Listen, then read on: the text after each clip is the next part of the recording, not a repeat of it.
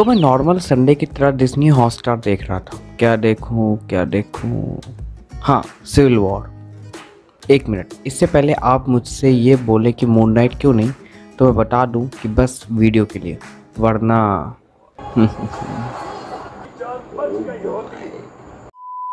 एक मिनट ये ये क्या है?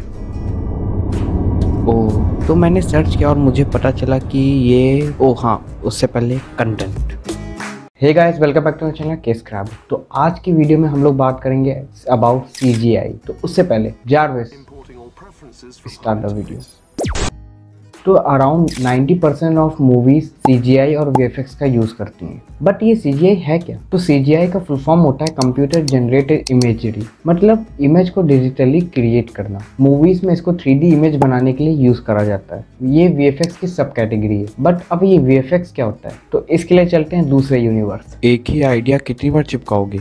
जब तक वन के नहीं हो जाते सब्सक्राइब ना अच्छा ठीक है मैसेज कर देता हूँ।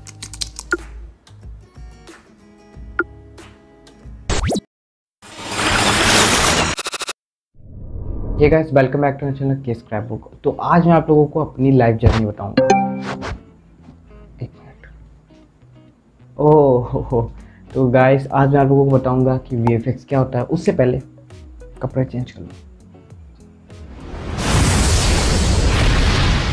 हाँ ये ठीक है।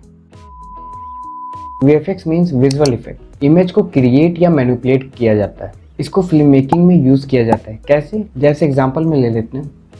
तो एक्टर ने सीन रिकॉर्ड करे। देन उसको वी यूज़ करके थेनोस के फेस बनाया। एंड लास्ट में मूवी सीन में ऐड करके उसे एक न्यू सीन बनाया जाता है। और एक्टर के फेस पे मार्किंग भी यूज़ करी जाती है to record their facial expression 2020 best VFX Oscar Dune को मिला है। और आपको पता है ड्यून मूवी में उन लोगों ने कोई ब्लू स्क्रीन ग्रीन स्क्रीन नहीं यूज़ करी थी। उन लोगों ने यूज़ किया था सैंड ब्राउन स्क्रीन और पता चला मूवी इतनी औसम क्यों थी? क्योंकि इसमें वी इतने औसम थे। तो जाने से पहले अभी तक आपने इस वीडियो को लाइक नहीं किया है तो लाइक कर दीजिए और ओह मे बी उस वाले यूनिवर्स में मेरे 900 सब्सक्राइबर हो गए होंगे। नहीं हुए तो सब्सक्राइब कर दीजिए। 900 सब्सक्राइबर के लिए इतना नाटक।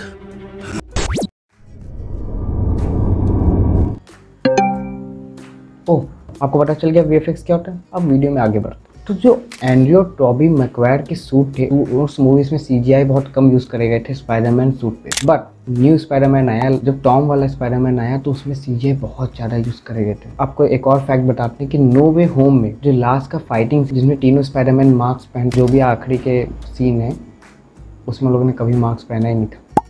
उसमें सीजीआई का यूज़ किया गया था। मार्वल के पास one of the best C G I based technology है। आप सोच ही सकते हैं कि उसके सी जी आई कितने अच्छे होते हैं। तो मैं ये क्यों कह रहा हूँ कि टॉम होलैंड का जो स्पाइडरमैन था, उसमें हैवी सी जी आई यूज़ किया गया था। बिकॉज़ जो पुराने स्पाइडरमैन थे, उनके अगर आप सूट देखेंगे मूवीज़ में देखेंगे तो वो जब नेक बेंड करते हैं, उनके रिंकल्स पड़ते हैं सूट पे। वो चाहे जो करें, उनके रिंकल्स आते हैं, थोड़े बहुत ही दिखाते हैं, क्योंकि बहुत ज़्यादा दिखाना भी बेकार लग सकता है सूट में। टॉम होलैंड वाला स्पाइडरमैन है, उसमें किसी में भी रिंकल्स आपको जल्दी नहीं दिखेंगे। तो क्या सीजीआई एक्सपेंसिव है तो इसका आंसर है हाँ of course according to render that 2018 में average cost CGI animation 3D effect लगभग 33.7 मिलियन यूएस डॉलर में पर मूवी होते हैं। और क्या आपको पता है बड़ी बड़ी हॉलीवुड मूवीज़ के सीजीआई और वी इंडिया में ही बनते हैं। Because of comfort level of communication उसी के साथ यहाँ टैलेंट और क्रिएटिविटी बहुत ज़्यादा है। मेरी वीडियो को ले लो।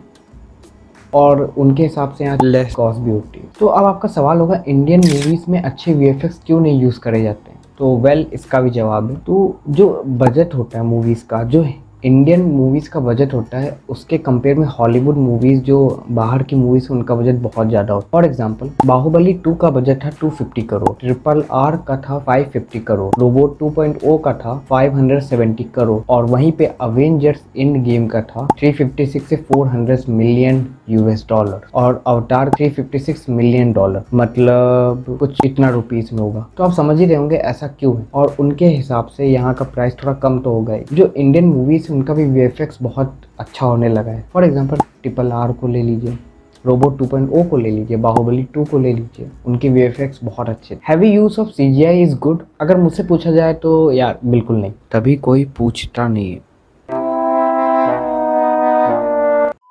क्रिएटिविटी यूज़ ना करी जाए तो वी या ज़्यादा पैसा फूकने से कुछ नहीं होगा। अगर आपने Iron Man one two three देखा होगा तो उसमें सूट कितने मैकेनिकल लगते हैं। मतलब उसमें जो एक एक पार्ट ऐसे जॉइंट होना एंड ऑल बट वहीं पे जब इन्फिनिटी वॉर आई तो उसमें जब नैनो सूट आ गया तो उसमें मुझे खाली एक सीन जो उसमें हेलमेट से आइस पे आता है। तो आप देख सकते हो, उसमें साफ़ से पता चल रहा है कि कुछ रह रहा था उसमें। लेकिन फाइट सीन में बहुत ही औसम था। इतना ही था इस वाली वीडियो के लिए। Thank you for watching this video अगर आपको ये वाली वीडियो पसंद आई तो लाइक कर दीजिएगा कमेंट करिएगा और शेयर करिएगा अपने दोस्तों के साथ, जिनको सी नहीं पता, उनके सामने आप हीरो बनिए शेयर करके वीडियो। मिलता हूँ मैं आपसे नेक्स्ट वाली वीडियो में।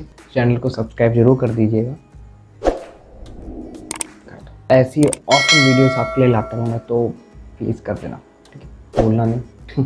लेट्स मेक 900 सब्सक्राइबर्स और वो आप ही के हाथ में। आई एम सॉरी नौ सौ सब्सक्राइबर तक कोई और वीडियो नहीं। तो डोंट फॉरगेट टू सब्सक्राइब कर दे यार। Okay okay. तो इस बार एस कर देना। And keep watching K scrap book thank you काश मुझे भी वी आते हैं?